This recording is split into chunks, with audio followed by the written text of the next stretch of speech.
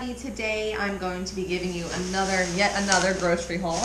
Um, I went to Publix this time, so let's jump right into it. Um, the first thing I got is I made a salad with cheese, egg, turkey, croutons, carrots, tomatoes, and onion. Gonna eat that for dinner because I didn't feel like cooking.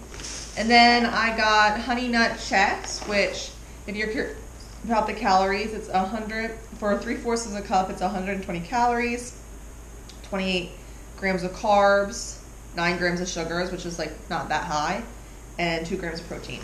And they're gluten free, so I really like these. Um, then pretzels to uh, eat with my.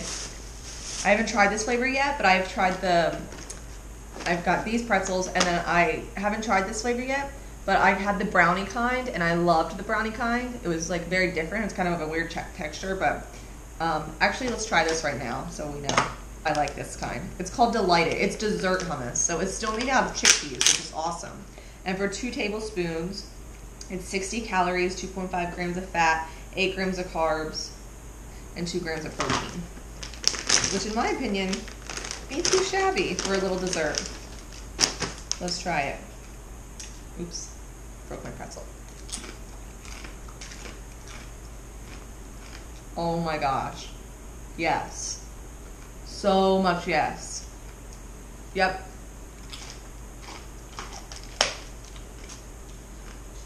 Hundred percent recommend this brand. Wow. That's really good. I got three things of my favorite yogurts, Light and Fit. And now I'm getting the ones with the zero artificial because they sell those now. I got three of those. Ooh, I got Bai. I love these so much. These are five calories per serving. And they're so good.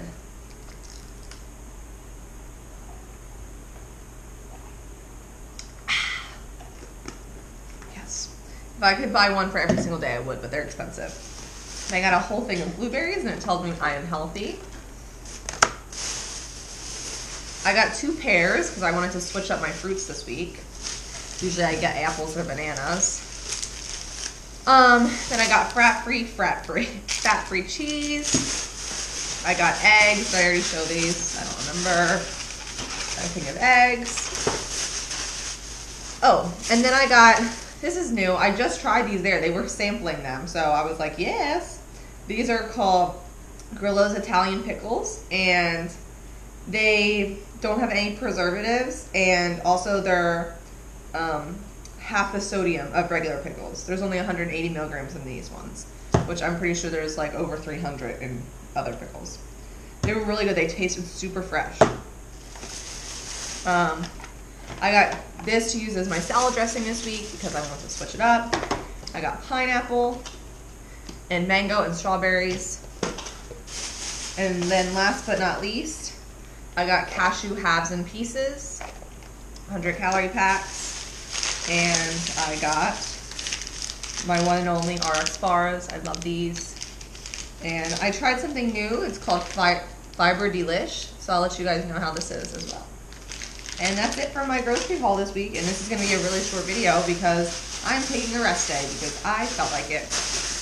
I'm exhausted. and besides, I didn't take a rest day last week. So I was like, you know what? My legs are so sore. I need it. I'll talk to you guys later. Bye.